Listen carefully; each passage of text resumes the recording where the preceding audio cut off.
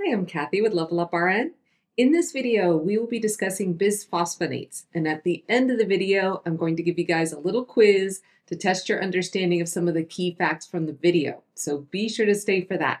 And if you have our Level Up RN pharmacology flashcards, go ahead and pull out your flashcard on bisphosphonates so you can follow along with me and pay close attention to the bold red text on the back of the card because those are the things that you are likely to get tested on. Bisphosphonates are a group of medications used to treat osteoporosis, which is a condition characterized by low bone density and an increased risk of fractures. Medications in this drug class are also used to treat Paget's disease, which is a bone disorder that causes abnormal bone growth and weak bones. A key medication in this drug class, and one you definitely have to know for nursing school, is alendronate, which is brand name Fosamax. Of note, most of the other medications in this drug class also end in dronate. In terms of mode of action, bisphosphonates work by inhibiting osteoclast activity.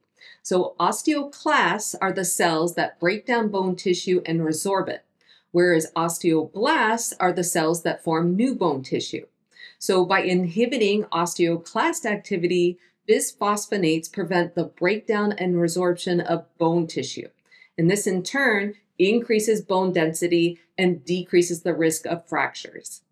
Key adverse effects of bisphosphonates include upper gastrointestinal issues such as esophagitis, which is inflammation of the esophagus, as well as heartburn, abdominal pain, and nausea.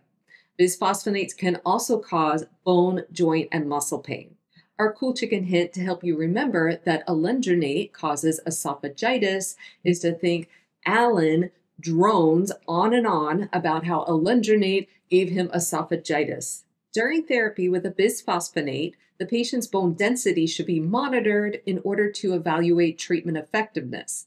In addition, patient teaching is super important for this medication, so let's go through those teaching points now. First of all, you should advise your patient to take this medication first thing in the morning on an empty stomach with a full glass of water. Then they should wait at least 30 minutes before eating, drinking, or taking other medications. You should also advise your patient to sit upright or ambulate for at least 30 minutes after taking a bisphosphonate in order to prevent esophageal irritation and ulceration.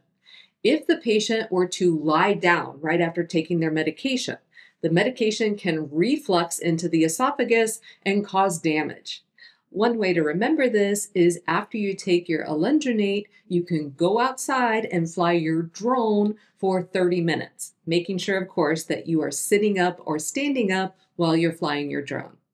It's also important that your patient have an adequate intake of calcium and vitamin D and take any supplements as ordered by their provider. And then lastly, you want to emphasize the importance of weight bearing exercise to stimulate bone formation and improve bone density. All right, it's quiz time, and I have three questions for you. Question number one What is the mode of action of bisphosphonates? The answer is they inhibit osteoclast activity.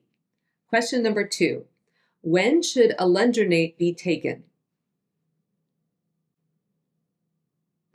The answer is first thing in the morning on an empty stomach with a full glass of water. And question number three Why should a patient avoid lying down after taking alendronate? The answer is to avoid irritation and ulceration of the esophagus. All right, that's it for this video. I hope it was helpful. If so, be sure to hit that like button. Take care and good luck with studying. So let's go through those. We invite you to subscribe to our channel and share a link with your classmates and friends in nursing school. And if you found value in this video, be sure to hit that like button and let us know what you found to be particularly helpful.